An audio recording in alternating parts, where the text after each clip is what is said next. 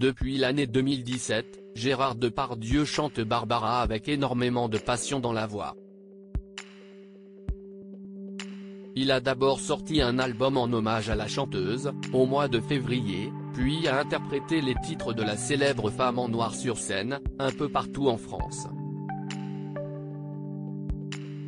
Si est ce spectacle, d'ailleurs, qu'il a choisi de délivrer le 6 août prochain lors de son passage au Festival de la Coste, événement créé par Pierre Cardin qui prend place dans le Vaucluse.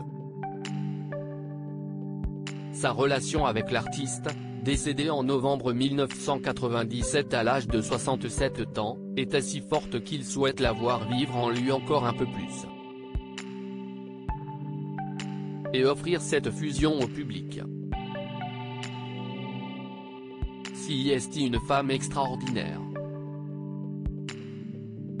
On s'aimait beaucoup avec Barbara, on avait la même sauvagerie, la même violence à l'intérieur, explique Gérard Depardieu dans les colonnes du journal La Provence, le 30 juillet 2022.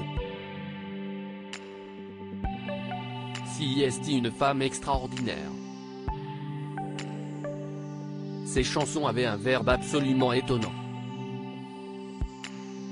Amis, confrères, les deux artistes avaient eu l'occasion de collaborer ensemble sur les planches dans les années 1980 dans un opéra, sorte de conte naïf, qui s'appelait Lily Passion.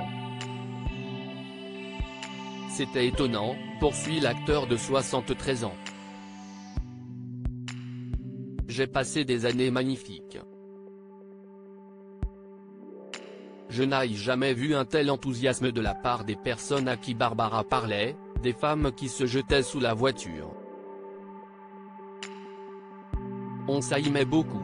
Le 6 août 2022, Gérard Depardieu enchantera le public du Festival de la Coste auprès de Gérard Daguerre, le pianiste qui jouait de son clavier magique auprès de Barbara. Les liens que le comédien avait tissés avec elle étaient, après tout, indestructibles. L'une des dernières chansons qu'elle avait chantées, de son vivant, s'intitulait À force de.